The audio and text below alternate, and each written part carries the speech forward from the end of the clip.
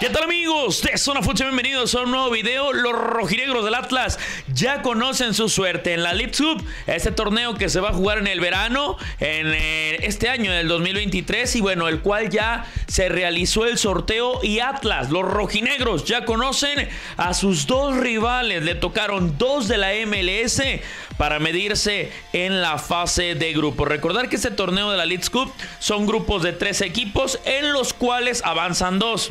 Hay que ser muy malo para quedarte fuera. Pero al Atlas le ha tocado un grupo complicado, le ha tocado un grupo difícil.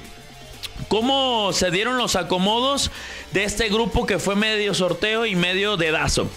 Pues dependió mucho que la posición de la tabla, que los puntos y total que al Atlas antes del sorteo ya se conocía que iba a estar con Nueva York City. El New York City FC, equipo al cual enfrentó el Atlas el año pasado y perdió allá en el Yankee Stadium. Pues bueno, se vuelve a topar contra este equipo ya con algunas ausencias, ya con algunos jugadores que no forman parte del roster de esos que nos enfrentamos, pero que aún así sigue siendo un equipo complicado. El otro rival que le va a tocar a los rojinegros del Atlas es el Toronto. El Toronto Football Club, equipo canadiense pero que pertenece a la MLS, que ha sido finalista de CONCACAF y que en algún momento fue importante. Hoy dirigido por Bob Bradley, que mucho tiempo estuvo con eh, la selección de los Estados Unidos y que no tiene grandes jugadores en sus filas. Eh. Presenta a Domenico Crisanto, un italiano que en algún momento fue bueno, ya arriba de los 35 años. Obviamente el hijo del patrón, ¿no? Michael Bradley, también ya veteranazo.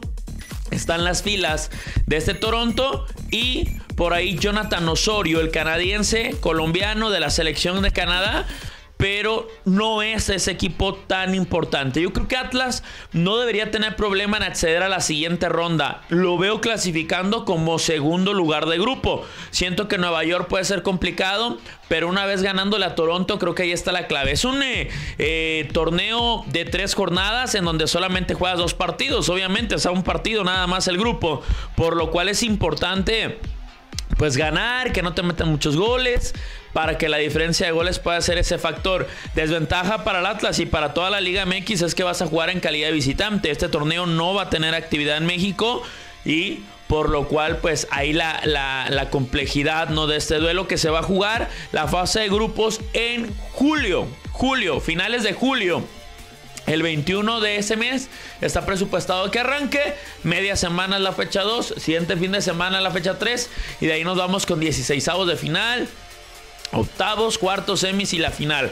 Recordando que al ser un torneo oficial, da un boleto al campeón para la CONCACAF 2024. Subcampeón CONCACAF 2024 y tercer lugar es decir, los dos que pierdan semifinales se enfrentan en un partido más. Tercer lugar también avanza a la CONCACAF. Es importante para el Atlas, ¿no? Ya que si no llega a la final en el torneo de Liga MX, la única posibilidad de volver a participar en CONCACAF el siguiente torneo es pues quedando dentro de los tres mejores equipos de este torneo.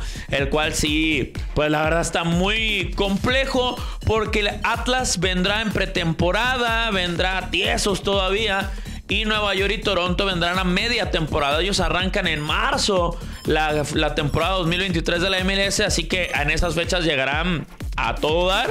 Vamos a ver qué tanto le afecta a Atlas y a los equipos mexicanos. La realidad es que el grupo me parece para que Atlas avance en un segundo lugar y pueda acceder a la ronda de los 16 avos de final. Pues ahí está, les gustaron los grupos, querían a lo mejor un equipo diferente. ¿Qué opinan? Déjalo acá abajo en los comentarios, suscríbete al canal y dinos hasta dónde crees que llega el Atlas. Mi nombre es Eddie Rodríguez, nos vemos, nos escuchamos en un próximo video.